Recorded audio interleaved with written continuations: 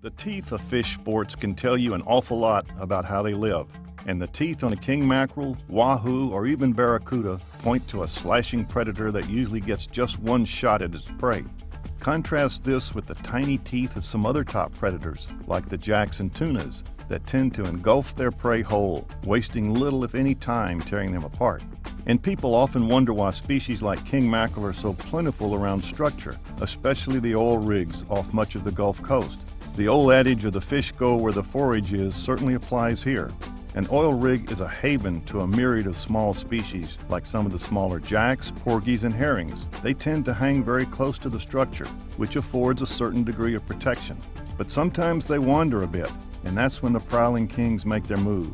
Occasionally, a large predator, like a cobia or amberjack, will flush the prey species out from the rig, and that creates a heyday for the big kings. In the northern Gulf, we used to think kings left when the water chilled in late November, but now it seems the colder water chased the smaller food species away, hence the departure of the kingfish. Some bait species may hang around the rigs all year, and many of those big old kings hang around as well.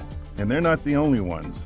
January and February have become popular fishing months off the northern Gulf Coast, with anglers targeting amberjacks and tunas as well as the kings.